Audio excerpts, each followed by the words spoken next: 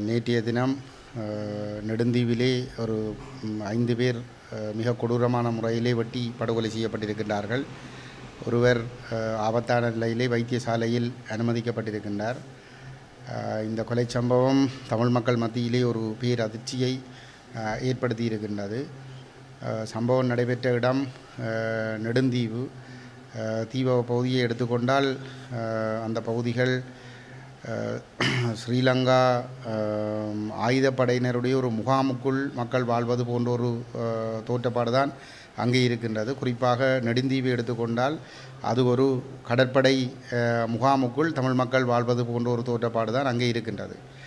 இந்த சம்பவம் நடைபெற்ற இடத்திலிருந்து அந்த வீட்டிலிருந்து ஒரு பத்து மீட்டர் வித்தியாசத்திலே எதிர்ப்புறமாக ஸ்ரீலங்கா கடற்படையினருடைய ஒரு பாரிய தளம் ஒன்று அங்கே அமைந்திருக்கின்றது. அவ்வாறு ஒரு பாரிய தளம் இருக்கின்ற ஒரு சூழலிலே ஐந்து பேர் மிக கொடூரமான முறையிலே வெட்டி படுகொலை செய்யப்பட்டிருக்கிறார்கள் என்று சொல்லி சொன்னால் அந்த கொலை தொடர்பாக ஒருவர் கைது செய்யப்பட்டிருப்பதாக சொல்லப்பட்டிருக்கின்றது. ஆனால் இந்த கொலை நடக்கிற பொழுது இந்த சம்பவம் கடற்படையினருக்கு தெரியாமல் இருந்ததா என்கின்ற ஒரு பாரிய சந்தேகம் எங்களை பொறுத்தவரையிலே ஏற்பட்டிருக்கின்றது. கடற்படையினர் கண்டும் காணாமல் இருந்தார்களா? அல்லது அவர்களுக்கு இதில் ஏதாவது உடந்தை இருக்கிறதா என்கின்ற ஒரு பாரிய சந்தேகம் ஏற்பட்டிருக்கிறது. ஒரு மிகப்பெரும் படைத்தளத்திற்கு முன்பாக உள்ளூர் வீட்டிலே ஐந்து பேர் கொலை செய்யப்பட்டிருக்கிறார்கள். நாய் ஒன்று கொலை செய்யப்பட்டிருக்கின்றது.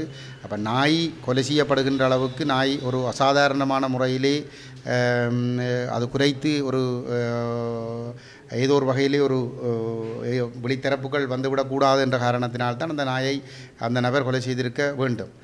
அப்படியான ஒரு சூழலிலே வந்து ஒரு இராணுவத்தினர் கடற்படையினர் ஒரு புலனாய்வு பிரிவை கொண்டிருக்கக்கூடியவர்கள் எப்படி அந்த விடயத்தை கண்டுகொள்ளாமல் இருந்தார்கள் என்பது புரியாமல் இருக்கின்றது.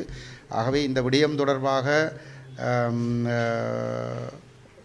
ஒரு ஆழமான விசாரணைகள் நடத்தப்பட வேண்டும். இந்த படுகொலை செய்யப்பட்டவர்களுக்கு நீதி கிடைக்க வேண்டும். இந்த சம்பவம் தமிழர்களை பொறுத்தவரையிலே ஒரு பேர் அதிர்ச்சியாக இருக்கின்றது. ஏனென்று சொல்லி சொன்னால் நெடுந்தீவை சிங்களமயமாக்குகின்ற ஒரு திட்டம் அரசாங்கத்திடம் இருக்கிறது. அங்கே இருக்கக்கூடிய ஒரு வெடியரசன் கோட்டை என்று சொல்லப்படுகின்ற கோட்டையினுடைய வரலாற்றை தெளிவுபடுத்தி அந்த அதை ஒரு சிங்கள வரலாற்றோடு சம்பந்தப்படுத்துகிற ஒரு முயற்சியும் அரசாங்கத்தினாலே மேற்கொள்ளப்பட்டிருக்கின்றது. அதற்கு எதிராக அங்கிருக்கின்ற மக்கள் மத்தியிலே ஒரு கடுமையான அதிருப்தியும் எதிர்ப்பும் இருக்கிறது. ஆகவே தீவக பகுதிகளிலே இருக்கக்கூடிய மக்கள் இவ்வாறான எதிர்ப்புணர்வுகளை வெளிப்படுத்தாமல் இருக்க வேண்டும் என்பதற்காக அல்லது அங்கிருக்கக்கூடிய மக்களை தாமாக விரும்பி தீவகத்தை விட்டு வெளியேற செய்ய வேண்டும் என்கின்ற நோக்கத்திற்காக இந்த கொலைகள் அரங்கேற்றப்படுகிறதா என்கின்ற ஒரு வலுவான சந்தேகம் தமிழ் மக்கள் மத்தியிலே ஏற்பட்டிருக்கின்றது.